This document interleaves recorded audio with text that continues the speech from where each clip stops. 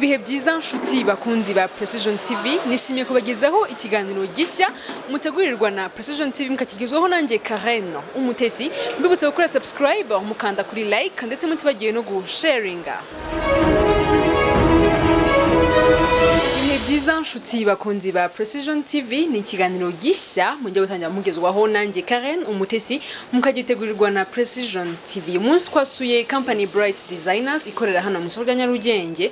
Baratubwira byinshi cyane bakora ndetse n'ibyo babashije kwigezaho mu buzima. Turaganira nabo muraza kubumva batubwira byinshi cyane. Nk'uko nabibabwiye turi mu isoko rya nyarugenge ahasanzwe hakorera kampani yitwa Bright Design. Tugiye kuganira nabo baraza kutubwira byinshi bakorera muri iyi kampani ndetse n'ukuntu bagiye bagera ku mishinga bari bariyemeje. Tugiye kuganira n'umwe muri bo aratangira atwibwira. Nitwa witwa Kididas Fabrice ndi umwe mu bakorera muri Bright Designers nkaba ndi n'umwe mu bantu bagize uruhare mu gutuma Bright Designers ibaho. Okay. uh, Fabrice twashaka kumenya ese Bright Design yatangiye ryari? Byagenze gute? Uh, Bright Designers yatangiye mu kwezi kwa hagana mu kwezi kwa mu ntangiriro z'ukwezi kwa kabiri mu muri bibiri na cumi na gatanu. Ndumva hashize imyaka nk'itatu ikora mukora? Yego. Ese ubundi mukora ibiki? Nibe bintu mukora muri Bright Designers. Bright Designers dukora ibintu bita graphic design. Graphic design ibamo ibyiciro byinshi. Habamo serigraphy ibintu byo kwandika ku myenda habamo gukora ama web design habamo gukora ama banners cyangwa se ama posters habamo mbese ibintu byose uzabona byanditseho bibarizwa muri Bright Designers. Hanyuma n'ibintu bijyanye n'amasoft bitandukanye nk'ama web design n'ibindi nk'ibyo byose ni graphic design byose babibarizamo hano. Iyi company Bright Designers bakora mu isoko rya Nyarugenge bakora ibijyanye n'ama graphics design bakora flyers ma banners ndetse n'ama badge arakomeza atubwira byinshi cyane dushaka kumenya kuri graphic designers. Ese Fabrice ko mbona ukiri umujene cyane ni cyo kintu cyatumye uba motivation yawe yavuye he? Ese byagenze gute? Ko ibintu bi- bikunze gukora abantu baba papa bakuze kuba yamanaginga ikintu nk'iki ngiki byagenze gute? Eh, nk'uko nakubwiye ndi umwe mu bantu bagize Bright Designers nkaba ndi n'umwe mu bagize igitekerezo cyo kwishinga. Eh, ikintu cya mbere twari tugamije twari tugamije gutanga serivisi nziza kandi zihuse ku bakiriya. Kubera ko nari maze imyaka igera muri itanu n'ubundi nkora muri graphic design kubera guhura n'abakiriya kenshi guhura n'abantu bakeneye serivisi kenshi ariko nkabona imitangirwe ya serivisi aha aha mbaye ndi umukiriya hari ibitanyura cyane cyane nk'ikijyanye n'igihe na karite y'ibintu umukiriya ahabwa ubwo nahisemo kuvuganira abakiriya niko navuga nkajya ku ruhande rw'abakiriya kugira ngo mbahe ibyo bakeneye. Uje kutubwira ko winkarajinga abajoni bagenzi bawe ko nabo batatinyana ko nabo bashoboye eh, butari ibintu byo guharira abasaza. Ese watubwira ni izihe mbogamizi wahuye na zo muri uyu mushinga? Ese watangiye gute? Watangiye ku gishoro kingana gute? Kugira ngo nabo bumve ko hari ahantu bagera niyo baba bafite akantu uko kaba kangana kose. Ikintu cya mbere nakubwiye ko icya mbere ari igitekerezo. Kampani itangira yatangiriye mu ibage no kuri telefone. Abakiriya tukabasanga ahantu bari bakaduha ibyo dukora tukajya gushaka abafite aho bakorera tukishyura wenda umwanya turi buhamare hanyuma twamara gukora akazi kacu tukagashyira umukiriya kuri tere Eh, ni na yo byabaye nk'umuco niyo serivisi n'ubu turacyayigira yo gushyira abakiriya ibintu byabo aho bari. Ntidutegereze ko badusanga hano. Ushobora gukora komande kuri telefone tukakuzanira ibintu byawe. Ibyo impamvu ibyo ngibyo byabaye nk'umuco nuko ari byo twatangiriyeho. Ntabwo twe dufite aderesi ifatika. Ku buryo wabwira umuntu ngo nicaye aha nkorera aha ntahari hahari. Ariko telefone yabaga iriho. Nimba umukiriya akeneye ikintu akaguhamagara ukagikora ukakimushyira. Ah, gahoro gahoro rero uko abakiriya ugenda ubabona ni nako ubaha ibintu byiza. Uko ubaha ibintu byiza bararangirana bakavuga hari hari umuntu ukora ibintu byiza.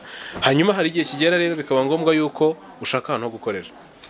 Ah, byatangiye ngira ngo ahangaha mudusanze ubu dusa nkaho dufite shopping mall niko nayita. Kuko ukurikije ahantu twatangiriye twatangiriye kuri metero kare. Met- santimetero ijana ku ijana. Ariko umuntu yakubwira ngo ngusange he? Ukamubwira uti nsanga aha n'aha. Urabona nk'aha mu mujyi habamo ukuntu abantu bifatanya bakajya bakodesha inzu nini ariko buri wese afitemo ahantu hangana na metero kare. Nuko natwe twatangiye. Tugafata akametero kare hanyuma umuntu yaguhamagara noneho ngo ngusange he? Ukamubwira uti ngwino nsanga aha ngaha agasanga hano hari ibi hano hari ibi nawe urimo hariya mu nguni. Ariko akavuga ati icyo cyose ubwo ufite aho uri ejo n'ejo nzazana akandi kazi. Gahoro gahoro rero uko abo bakiriya bagenda biyongera gahoro gahoro ugeraho ukavuga uti noneho reka mfate metero ebyiri. Ukagera ukavuga uti reka mfate metero eshatu. Iyo ukora ibintu byiza abakiriya baraza. Iyo baje wongera aho ukorera. Nuko twagiye tuzamuka gahoro gahoro. Kingana gute? Kugira ngo mubashe kugera hano mwatangiye kuyangana cyangwa se kurangara Ah, icyo kibazo kiraza kungora kugisubiza kubera ko nta gishoro nafashe ngo mfashe miliyoni ndagiye nguza ibikoresho byo gutangira mbikoze gutya oya ahubwo nyine natangiraga ukampa nka t-shirt imwe yo kwandikaho amafaranga umpaye wenda nungutsemo ibihumbi bitanu undi akampamagara ndashaka t-shirt ebyiri nawe nkazigura nkazimushyira ejo akababaye ibihumbi icumi undi akampamagara ndashaka t-shirt enye nawe nkazigura muri ya yandi nkazimushyira gutyo gutyo bigenda bizamuka. Ntabwo ukoresha ko mbona umukoresha byinshi mo hano byavaga wowe biguraga amafaranga yawe cyangwa se a- ayo ukuye mu byo wakoze? Eh, amafaranga yavuye mu byo nakoraga. Mu by'ukuri ikintu nashatse kugeraho nta hantu runaka havuye amafaranga. Ngo ngure izo mashini cyangwa se tugure ibindi bikoresho twifashisha mu kazi. Ahubwo uko twakoreraga abakiriya uko amafaranga yagendaga aza gahoro gahoro imipira itanu ejo ikaba icumi ayo mafaranga iyo nyungu ivamo niko yagendaga igura ibikoresho gahoro gahoro. Hari umuntu ujya gutangira bizinesi akagura imashini umunani kugira ngo asitatinge bizinesi ariko twebwe si uko byagenze. Twagendaga tubika make make make ayo imashini imwe aka- akaboneka tukayigura tugakomeza tukabika andi tukabona yindi mashini tukayigura urumva uko ziyongera ni nako ugenda ushaka ahantu ho kuzikoreshereza. Ikindi iyo uguze imashini imwe gutyo ntabwo umenya ngayo kugura indi yavuye he kuko yayandi ayikorera yayindi ayikorera ugenda ubikaho make make ukabona wenda kuri konti yagiye amafaranga yagura akandi kamashini nako kakagura. Gutyo gutyo. Ntabwo twafashe amafaranga umubare runaka ngo twicare tuvuge rero tugiye gutangira bizinesi eh, reka tugure imashini enye tugure iki tukodesha ahantu hangana gutya. Oya ni ibintu byagiye biza gahoro gahoro. Niyo mpamvu navuze ngo ikintu cya mbere kigora ni igitekerezo. Icyo gitekerezo uko gikura niko n'ibi- n'ibikorwa bigenda bikura. Kugeza umuntu ageze kuri revo yumva wenda ashobora no gutanga serivisi yumva yifuza. Nk'ubu ngubu urwego tugezeho ntabwo turagera on the top. Ariko tugeze ahantu nibura dushobora kuvuga ngo isoko dufite hano ibyo umukiriya akeneye ashobora kubibona. Yego. Ukoresha abakozi bangahe muri kampani ese abantu bose babasha gukora hano? N'abakobwa nabo nabo bazamuka si ibintu umuntu mukora ni ibintu umuntu wese yabasha gukora? Eh, impamvu nta muntu duheza hakazamo n'abakobwa ni uko akazi dukora ntabwo ari akazi k'ingufu. Akenshi abakobwa usanga bitewe wenda n'imibiri yabo ukuntu iremwe imirimo ibasaba ingufu nyinshi cyane irabagora. Nubwo nabo iyo basigaye bayikora ariko ntabwo twabura kuvuga ko ibagora. Ariko twebwe akazi dukora ntabwo ari akazi gasaba imbaraga nyinshi cyane. Ni akazi gasaba gutekereza gusa. Kandi abakobwa nabo baratekereza bafite ibitekerezo muri design bashobora kutwungura inama n'ibindi. Ikindi impamvu dukenera abakobwa muri design ngira ngo ubizi kundusha. Ibintu bijyanye n'amabara ibintu bijyanye n'utuntu twagaragara neza ibyo ngibyo barabiturusha. Hanyuma dushobora kuba bafata abakobwa bakadutekereza uko dushobora kubidizayininga hanyuma twe tukabikora. Ubwo rero urumva nabo barakenewe. Hano Eh cyane rwose. Cyane rwose. N'ubu ngubu mu gitondo uzindutse waza ukatubwira uti ikindi cya kabiri kuba umudizayina ntabwo ari ibintu bigoye cyane. Nawe uri umudizayina kugira ngo mu gitondo uhitemo ishati y'umukara n'ipantaro ya move hari ukuntu wabitekerejeho. Ubwo rero icyo gitekerezo wagize cyo gufata ayo mabara ukayahuza hashobora kuvamo dizayini ushobora gushyira muri public ikagurishwa. Ubwo rero ni karibu cyane. Eh, hano dukora turi abantu batandukanye. Eh, ubu ngubu bright designers iri gukorana n'abantu bageze muri batanu. Harimo umukobwa umwe. Eh, yarengaga umwe ariko abandi bagiye bajya ku ishuri ubu ngubu ntabahari. Ubwo turarindiriye ko bava ku ishuri cyangwa se hakaza abandi nkamwe namwe tugakorana. Ntabwo ari ibintu bigoye. Isaha n'isaha bashobora kwiyongera. Bitewe n'uko akazi wenda kabaye kenshi mu bakiriya. Ngira ngo na public iri kutwumva na yo ni karibu.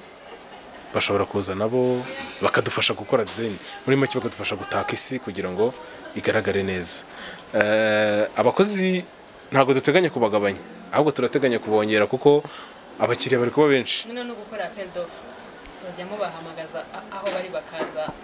Ah, ibyo ari byo byose design ntabwo igombera appel d'offre kuko buri muntu wese ashobora kugira igitekerezo kuri design. Ubwo rero bivuze ko ntabwo ari ngombwa kofaringa isaha n'isaha buri wese aba afite igitekerezo muri design ashobora kutwegera tukagishyira mu bikorwa. Wowe bakwita nde? Ah, nitwa Harerimana Desire. Ukaba ukorera hano muri Bright Designers. Sana kabisa. Okay. ko mbona se uri kuzinga imipira ndabona ari byo bintu ushobora kuba ukoramo.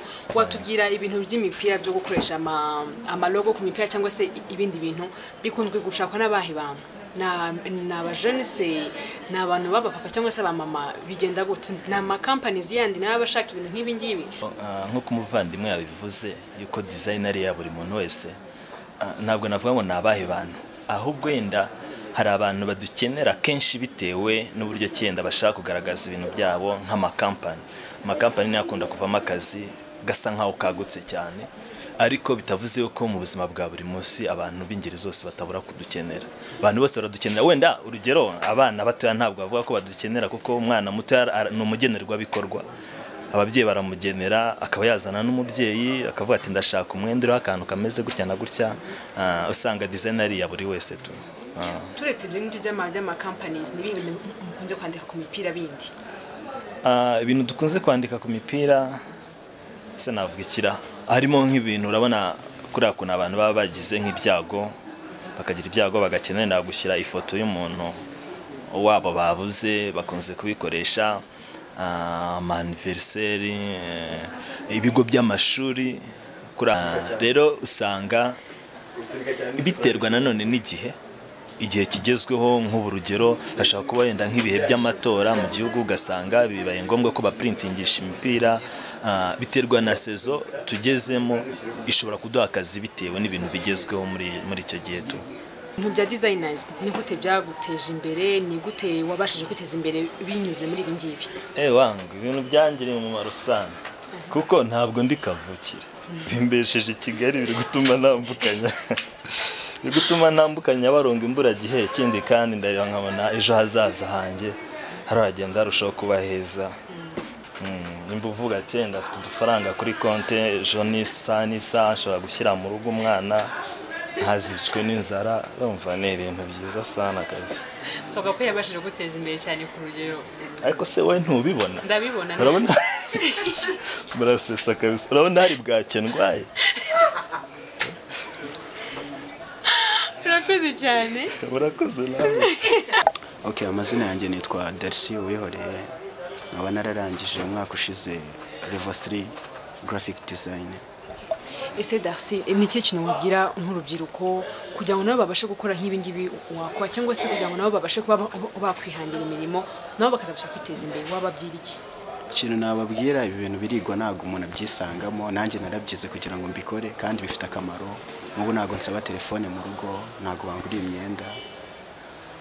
Ndumva ari ibyo ngibyo kuko ntabwo ntabwo ndagera kuri level yo kubaka inzu ariko na yo nzayubaka n'ibindi byinshi.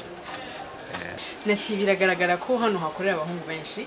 Yanabivuze fabrice ngo hano hakorera umukobwa umwe gusa. Ese uh, ubifata gute? Ese bimeze gute kubona ukorera hano uri umukobwa gusa? Ese aka kazi urabona abakobwa bose nabo babasha kugakora? Urabivugaho iki Eh, nk'uko yabivuze ni njyewe mukobwa urimo hano njyenyine ariko nta kintu bintwaye. Eh, uwo ari we wese yaza akagakora. Ko ibintu bakora ntabwo nk'uko yabivuze ntabwo ari ibintu bigoranye. Ni ibintu umuntu wese afite ubushake bwo kubimenya no kubikora anabikunda. Yabikora. Ni muri urwo rwego rero nanjye nza nkabikora nta kintu bintwaye na gatoya urakoze cyane nati. Urakoze namwe. Nati nk'umukobwa ukorera bright designers eh, ni ikihe kintu ubona wabashije kwigezaho? Ukimara gukorera bright designers? Ese ni ikihe kintu wabwira abandi bakobwa bangana nawe? Uba ubankoraje ngo nabo kuzashaka ibintu nk'ibi ngibi nabo bakabasha kwihangira imirimo cyangwa se kubona ibintu nabo babasha gukora. Eh, murakoze ibyo nagezeho ni byinshi. Njyewe experience maze kugira mu kazi ni nyinshi kuko ntago navuga ngo nimba niriwe mu rugo ndyamye no- nanjye naje kwirirwa nicaye hano ntago tuzahura kandi nta kintu na kimwe nashaka ngo nyibure ku giti cyanjye kubera kuza nyine ndi hano ndi mu kazi.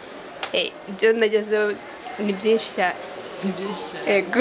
Okay urakoze cyane. Urakoze nawe ni mu kiganiro byifashe bite? Mutegurirwa na Precision TV mukakigezwaho nanjye Karen. Umutesi turagana ku musozo w'ikiganiro.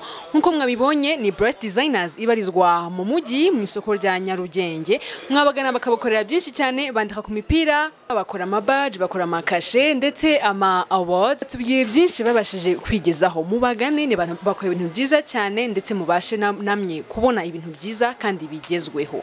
Mwari kumwe nanjye Karen umutesi kuri micro mfatanyije na Japi kuri camera ntibagiye gushimira Fiona Aberwa umurisa ni ho uhagarariye ikiganiro nka video director. Mbibutsa gukora subscribe kuri YouTube channel yacu ni Precision TV mukanda like umutibagiye no gusharinga.